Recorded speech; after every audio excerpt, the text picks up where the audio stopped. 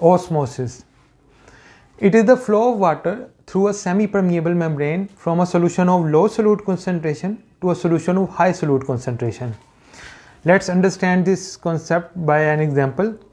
Suppose this is a jar containing two solutions, solution 1 and solution 2.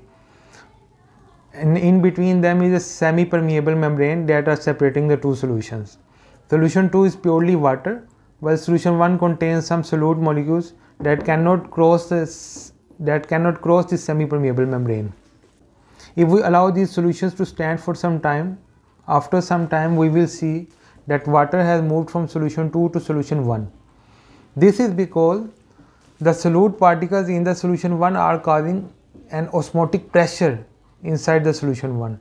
This osmotic pressure is attracting water from solution 2 towards solution 1. This concept of osmotic pressure is applied in case of plasma proteins. Plasma proteins are present in the blood vessels.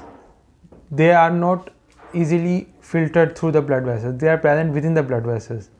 And they create an osmotic pressure inside the blood vessels that keep the water or plasma inside the blood vessels and does not allow the water to leak out.